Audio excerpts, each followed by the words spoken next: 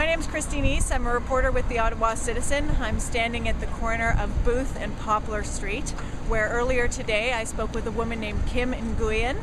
Uh, she lives at 340 Booth Street, and uh, she said that this morning her son David was smoking a cigarette on the front steps. Uh, he was turning to head back inside when he heard two pops coming from a car that was parked on the street. Uh, he raced down to the vehicle where he saw uh, the car door opened quickly and uh, a 16 year old youth male was uh, pushed out. Uh, apparently, uh, Kim said that her son David um, pounded on the car window or the door and that but the car sped off he wasn't able to get a good look at the people inside, or maybe he did. He was taken to the Ottawa Police Station along with another person who lives nearby, or possibly at the same address, and uh, where they gave a statement to police.